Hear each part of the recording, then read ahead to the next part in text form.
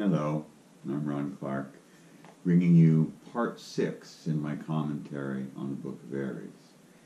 Today we'll talk about the second work of the magic of essential meaning, emulating essential meaning.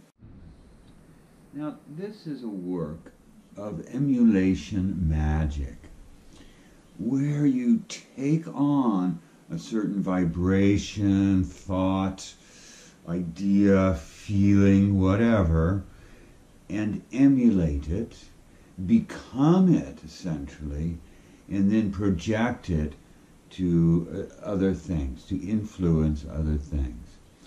Um, essentially, what we're doing here is the same thing we did with the vital energy, the, the elements and the fluids in initiation to Hermetic, Hermetics, um, the colors and feelings and KTQ, etc.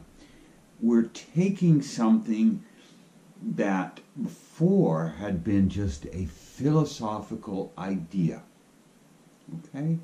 And we're turning it into a substance. We're, we're making it something that we can manipulate and use and project. We do that through emulating it, becoming it, taking it into ourself.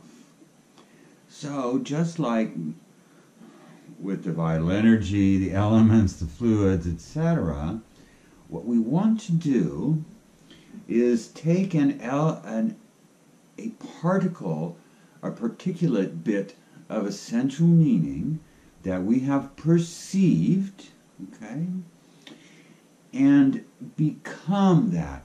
We want to uh, imagine ourselves as a hollow space in an infinite universe filled with that particulate essential meaning, just like we did with the elements.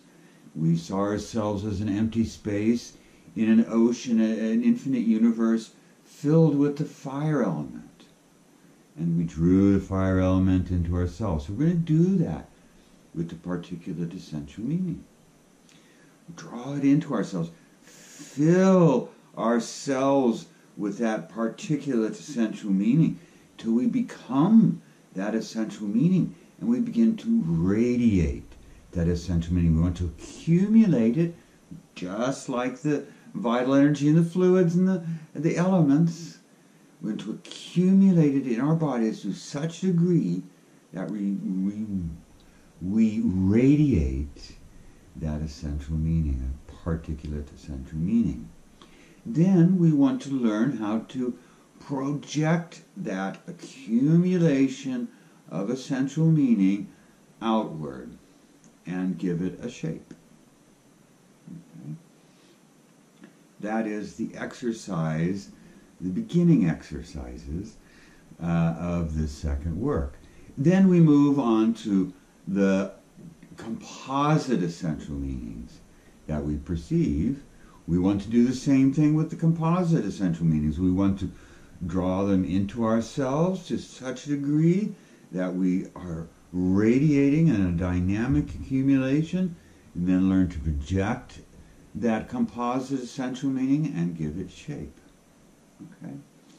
Same things we did with the vital energy, and the elements and the fluids and the colors and the feelings, etc. We use our creative imagination. Now, I'll give you an example. For uh, particulate essential meaning, I'll take the reflection, the, the reflectability, the shininess, shall we say, of this crystal and I'll draw that essential meaning from the universe into myself. And I'll build that essential meaning in myself, make that accumulation dynamic. Now I have transformed that philosophical thing, that perception of the shininess, into a substance like vital energy, like the elements, the fluids, etc. and I have filled myself dynamically with that essential meaning. And to such a degree that I begin to radiate that essential meaning into the surrounding areas, being radiated with the particular essential meaning of shininess. That essential meaning of shininess. Then I project that essential meaning of shininess. And I give it form. I make it into a sphere of shininess, the essential meaning of shininess, and I let it dissipate. Okay? That's a particulate essential meaning. Now, for a composite essential meaning, say in your day to day experience, you encounter someone doing a very generous act. So I take the composite essential meaning of that act of generosity and I bring it into myself and fill myself so that I am radiating that composite essential meaning of generosity. And then I project it outwards and form it into a sphere. Okay? And then I let it dissipate. So this is what you have to do here. Learn to emulate any essential meaning you encounter. Every essential meaning that you encounter, you must be able to emulate, bring it into yourself, become that essential meaning, and project it outwards, either through radiation or through direct, direct uh, projection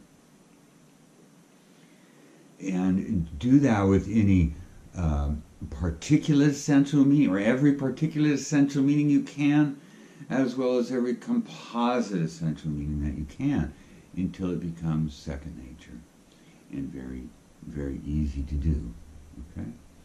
That prepares you for the third work in the magic of essential meaning, which will be next time. Okay, bye bye.